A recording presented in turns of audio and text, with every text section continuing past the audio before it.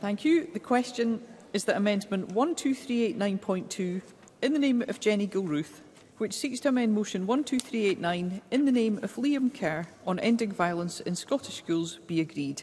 And members should cast their votes now.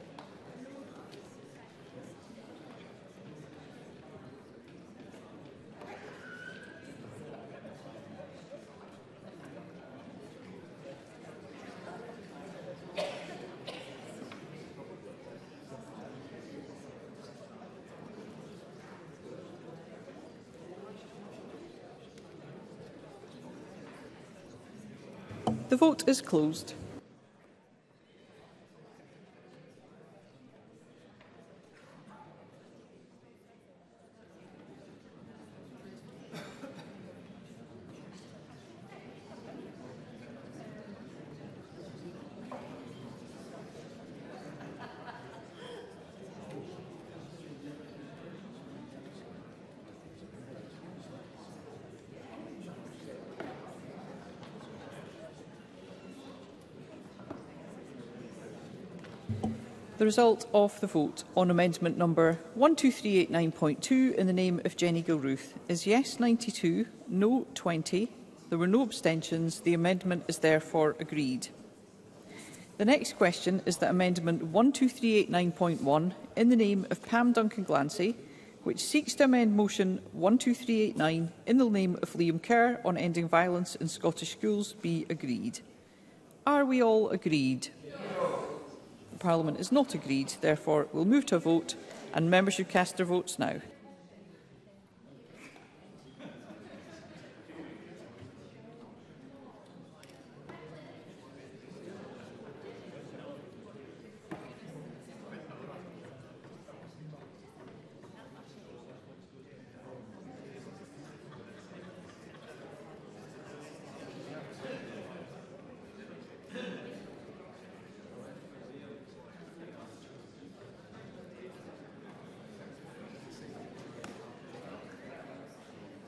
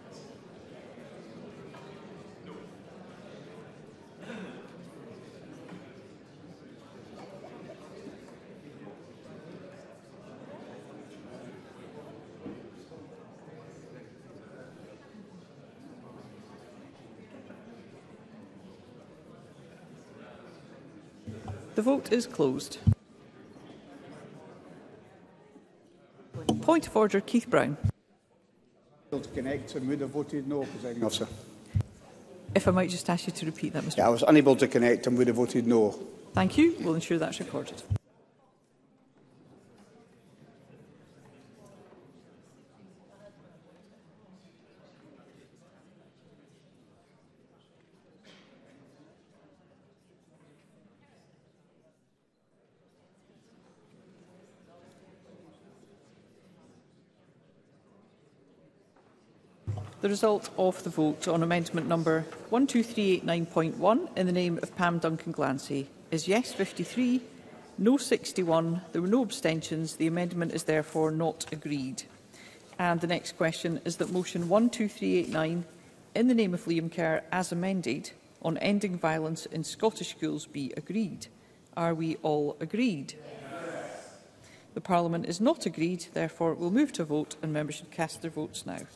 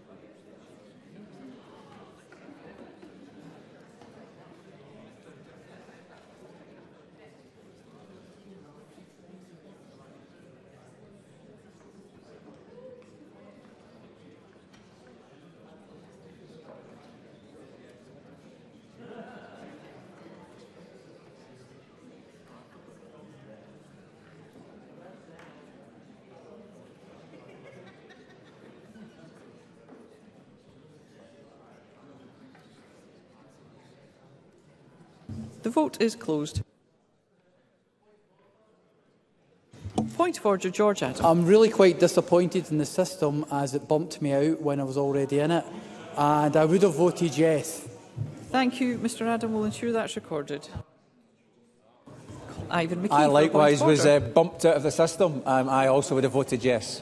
Thank you, Mr McKee. We'll ensure that's recorded.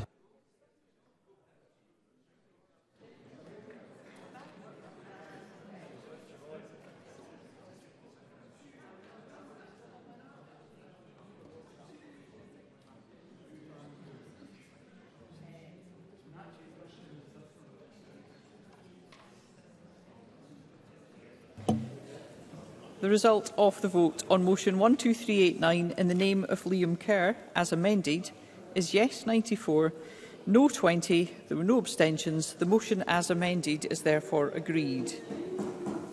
The next question is that Amendment 12388.3,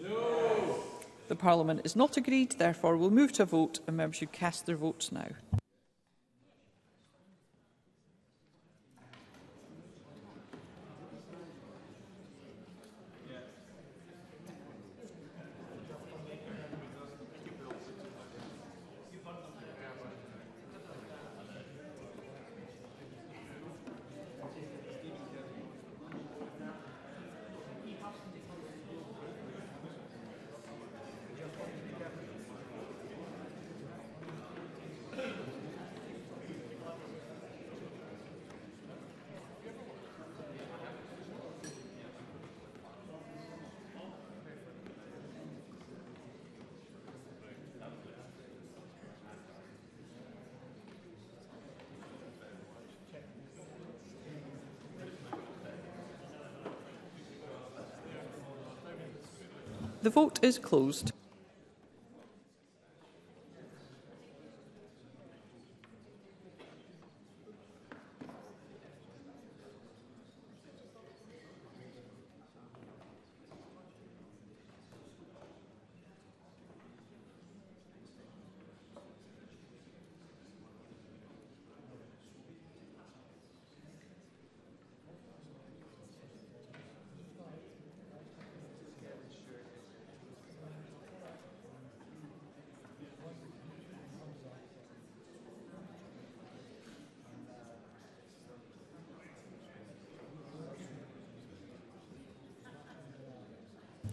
The result of the vote on amendment number 12388.3 in the name of Mary McCallan is yes 61, no 52. There were no abstentions. The amendment is therefore agreed.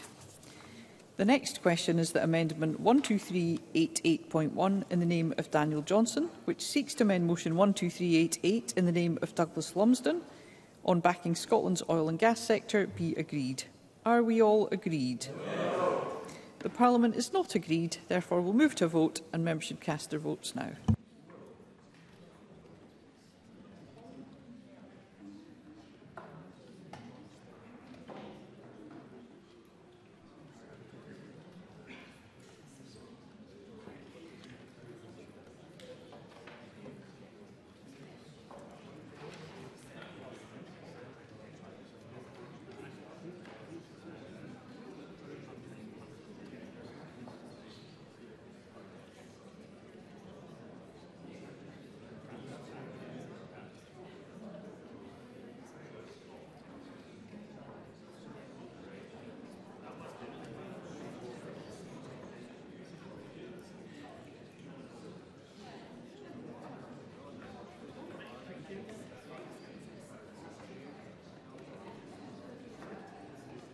The vote is closed.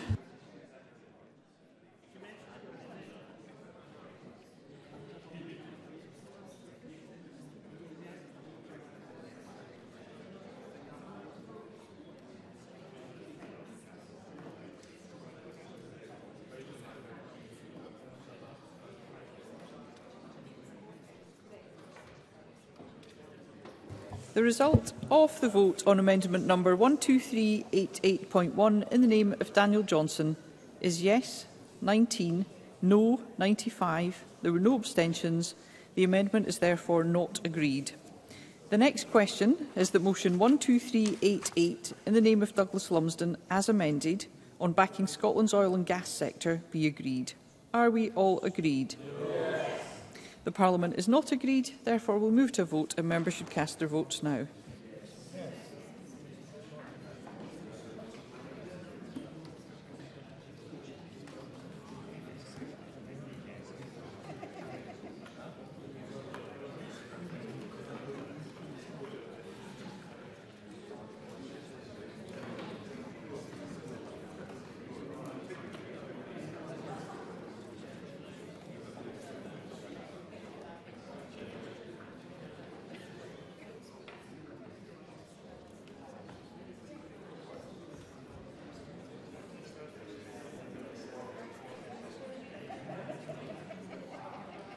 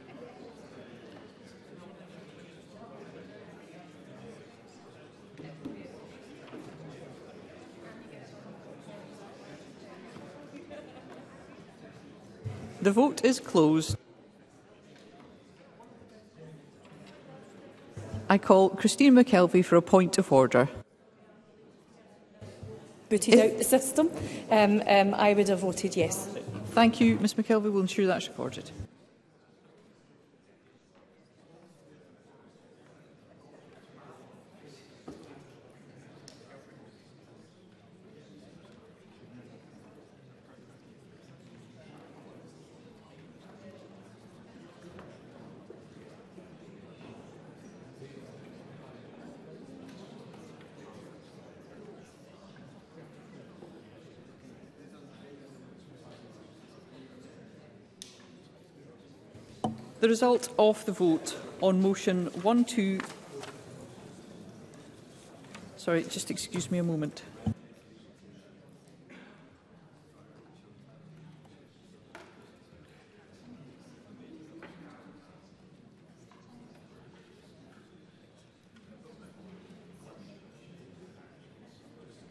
The result of the vote on motion 12388 in the name of Douglas Lumsden as amended is yes 62, no 51.